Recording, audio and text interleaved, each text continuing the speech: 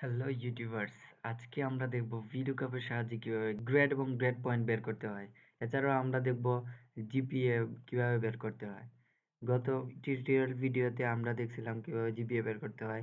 আজকে যে টিউটোরিয়াল ভিডিওটা আমি নিয়ে এসেছি, সেই টিউটোরিয়াল ভিডিওতে আমরা সহজেই কীভাবে কম সূত্র ইউজ করে কীভাবে এই জিপিএটা বের করতে পারি, এই জিনিসটা আমরা দেখব। সো স্টার্ট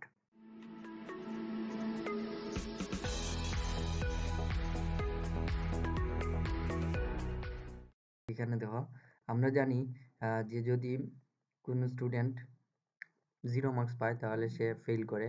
গ্রেড পয়েন্ট তার হয় জিরো এরকম, যদি তেত্রিশ পায়, তাহলে তার গ্রেড পয়েন্ট হচ্ছে ওয়ান এবং সে গ্রেড তার গ্রেড হচ্ছে ডি মার্কস যদি ফোর্টি হয়, তাহলে তার গ্রেড হচ্ছে সি এবং তার গ্রেড পয়েন্ট হচ্ছে টু এই জিনিসটা আমরা এখানে ইনপুট দিয়ে রাখছি। এরকম আমি একেবারে হান্ড্রেড পর্যন্ত, এটা টেবিল তৈরি করে রাখছি আর কি। এখানে জিরো থেকে হান্ড্রেড পর্যন্ত, আর এখানে গ্রেডগুলো লিখে রাখছি। তো এখান থেকে আমরা আসলে আমাদের গ্রেড পয়েন্ট এবং গ্রেড এগুলা বের করব। তো চলো আমরা আমাদের এক্সেল শিটের মধ্যে টেবিলের মধ্যে মানগুলো ইনপুট দেই। দেখো এখানের মধ্যে আমি স্টুডেন্টদের রেজিস্ট্রেশন নাম্বার এখানে লিখছি, এখানে মার্কস লিখছি, কোন সাবজেক্টের কে কত পাইছে। এখানে গ্রেড আমরা বের করব গ্রেড পয়েন্ট এখানে বের করব। তো চলো আমরা একটা সূত্র লিখি। এখানে হচ্ছে আমি আজকে যে সূত্র ইউজ করব সেটা হচ্ছে ভি লুকআপ ভি লুকআপ এই যে দেখো ভি লুকআপ চলে এসেছে।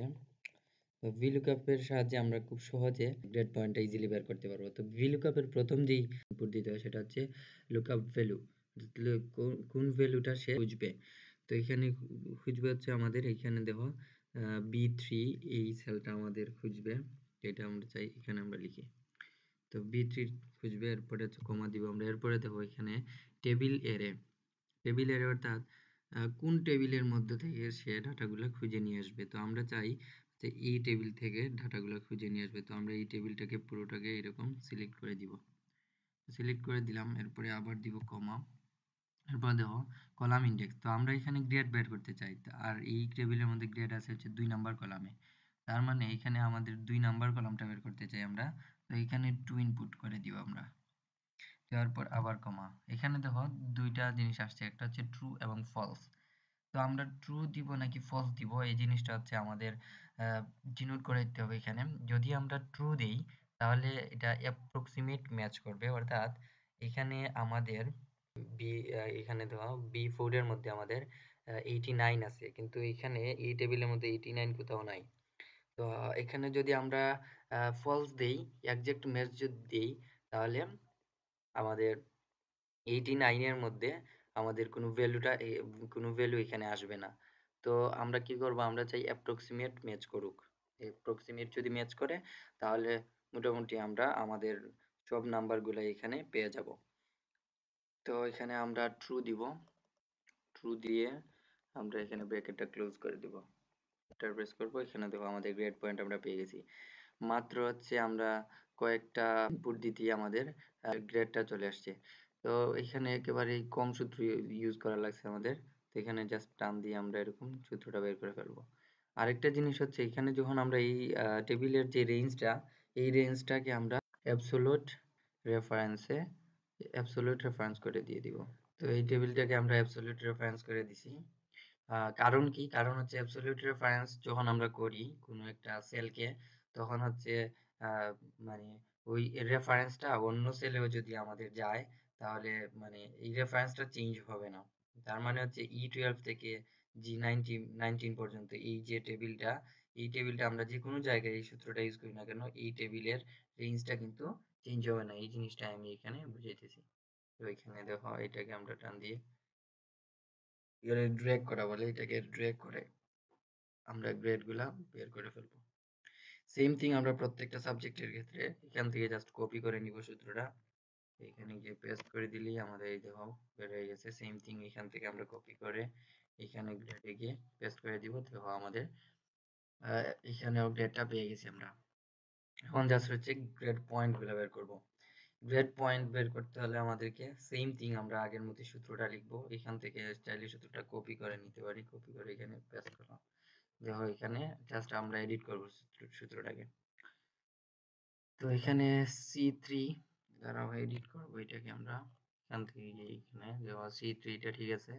আমাদের এখানে যেটা হচ্ছে, আমরা গ্রেড পয়েন্ট বের করতে যাচ্ছি। আর এখানে টেবিলের মধ্যে গ্রেড পয়েন্ট হচ্ছে তিন নাম্বার কলামে তো আমাদের টু এর জায়গায় এখানে থ্রি দিয়ে দিতে হবে। এবং এখানে সি থ্রি এর জায়গায় আমরা একটা বি বি থ্রি সিলেক্ট করব। তো বি থ্রি সিলেক্ট করব, করে হচ্ছে এখানে ট্রু আছে। এখানে ট্রুই থাকবে, সমস্যা নেই। এন্টার প্রেস করব। দেখো আমরা পেয়ে গেছি। তো সেম থিং আমরা এরকম ড্র্যাগ করে টান দিলেই মানগুলো পেয়ে গেলাম। এই যে দেখো। এ হচ্ছে ফোর এ প্লাস হচ্ছে ফাইভ এ হচ্ছে ফোর আবার A minus three point five এরকম। সেম থিং আমরা এই সূত্রটা কপি করে এখানে পেস্ট করব, পেয়ে গেলাম। এখান থেকে কপি করে এখানে গ্রেড পয়েন্ট এনে পেস্ট করলাম, আমরা পেয়ে গেলাম মানগুলা। তো এখন আমরা জিপিএ বের করব, আমরা জানি জিপিএ কীভাবে বের করতে হয়। আমরা জাস্ট হচ্ছে জিপিএ যে গ্রেড পয়েন্টগুলো প্রত্যেকটা সাবজেক্টের গ্রেড পয়েন্টগুলোকে প্রথমে যোগ করব। যোগ করে এরপরে হচ্ছে এখানে ব্র্যাকেট দিয়ে যতটা সাবজেক্ট আছে ওই সাবজেক্ট দিয়ে আমরা ভাগ দিয়ে দিব। ডিভাইডেড বাই এখানে হচ্ছে তিনটা সাবজেক্ট আমরা থ্রি দিয়ে ভাগ দিব। এন্টার দিলাম সেম থিং আমরা বের করব ড্র্যাগ করে আমরা বাকি যেই স্টুডেন্টগুলো তাদেরও জিপিএটা পেয়ে গেলাম আমরা ইজিলি এখানে দেখো এটা হচ্ছে two point three three four point three three four point কেউই কিন্তু এখানে প্লাস পায়নি।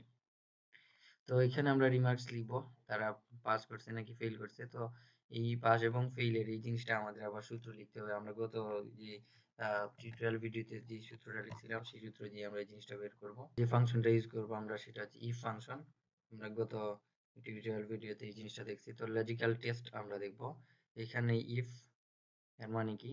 ইফ থেকে যদি এখানে গ্রেড অথবা গ্রেড পয়েন্ট যে কোনো একটা সিলেক্ট করতে পারি আমরা, অর্থাৎ যে কোনো সাবজেক্টের মধ্যে সে যদি এইটাতে যদি, অর্থাৎ সি থ্রিতে যদি সে if C three equals to যদি এফ হয়, তাহলে সে আমাদের লজিকটা বলছে এটা হবে, সে ফেল হবে।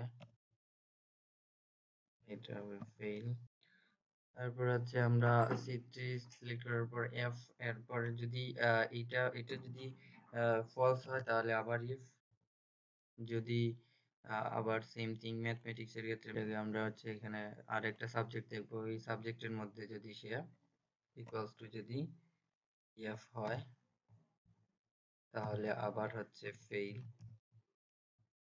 আবার এটাতেও যদি সে মানে অন্য একটা, তখন এইটাতে যদি ফেল না হয়, তখন আরেকটা লজিক টেস্ট করবে। সেই লজিকটা হচ্ছে আই থ্রি আই থ্রি মানে হচ্ছে আরেকটা সাবজেক্টের মধ্যে যে কি পাইছে এই জিনিসটা। আই থ্রি ইকুয়ালস টু যদি এফ হয়, তাহলেও অন্যথায় হচ্ছে কি? অন্যতায় সে হচ্ছে ওকে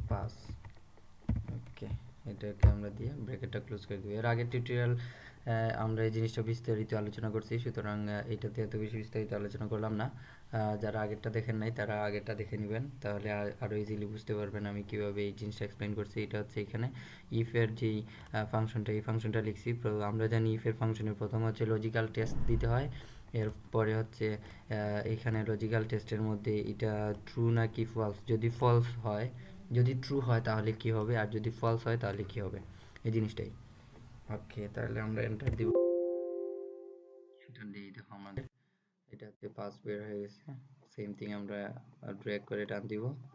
দেখো, এখানে দুইটা স্টুডেন্ট ফেল করছে, আর সেও আছে এখানে পাস তো আমরা জানি কীভাবে ফেল করে। স্টুডেন্টরা যদি যে কোনো একটা সাবজেক্টে ফেল করে, তাহলে একটা স্টুডেন্ট হচ্ছে ফেল তো সেম থিং আমরা রিমার্কসের মধ্যে এই জিনিসটা বের করছি। তো যদি কোনো একটা স্টুডেন্ট ইংলিশে ফেল করে, তাহলে সে ফেল যদি ইংলিশে ফেল না করে, তাহলে সে ম্যাথমেটিক্সে যদি ফেল করে, তাহলে ফেল আর যদি ম্যাথমেটিক্সেও ফেল যদি না করে, তাহলে বাংলা যদি ফেল করে, তাহলে ফেল যদি কোনোটাতেই যদি ফেল না করে, তাহলে সে হচ্ছে পাস এই জিনিসটাই আমরা এখানে ডিনোট করে দিছি। তো এই ছিল বন্ধুরা, আজকে আমাদের এই টিউটোরিয়াল ভিডিও ভালো লাগে, থাকলে অবশ্যই লাইক কমেন্ট সাবস্ক্রাইব করবেন। ধন্যবাদ।